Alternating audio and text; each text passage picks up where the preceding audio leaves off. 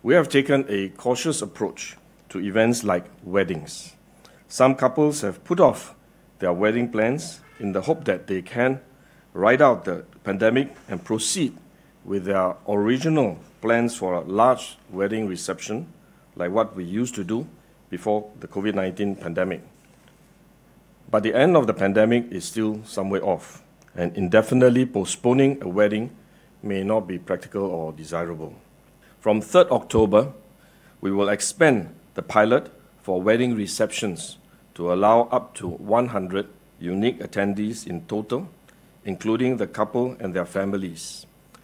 To ensure safe distancing, participants have to be split into zones of up to 50 attendees each, or to be separated by staggered time slots with up to 50 persons in each slot.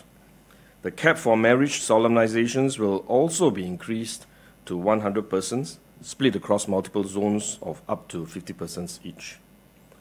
Starting in November, we will also launch a pilot to allow wedding receptions organized by a registered wedding organizer to take place at the HDB common areas such as void decks and multipurpose halls. These premises do not have physical perimeter and therefore enforcement of safe distancing measures may be quite challenging. So we will take a more cautious approach. If the pilot turns out well, we will expand the scheme later. The Ministry of Culture, Community and Youth will share more details later. Couples do not really need to wait until November. They can already hold their events at function rooms and multipurpose halls at our community clubs, which have, which have been made available for wedding receptions at very affordable rates.